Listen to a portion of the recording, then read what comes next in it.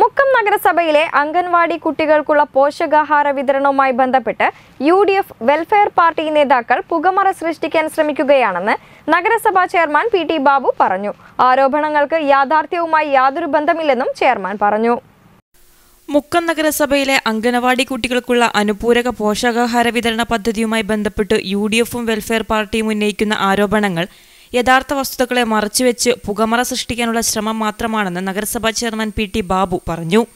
അങ്കണവാടി കുട്ടികൾക്കുള്ള ഭക്ഷണത്തിനാവശ്യമായ ധാന്യങ്ങൾ സർക്കാർ മാവേലി സ്റ്റോറുകൾ വഴിയാണ് വിതരണം ചെയ്യുന്നത്. അതിനാവശ്യമായ തുക നേരിട്ട് സിവിൽ സപ്ലൈസിൽ അടയ്ക്കുകയുമാണ്.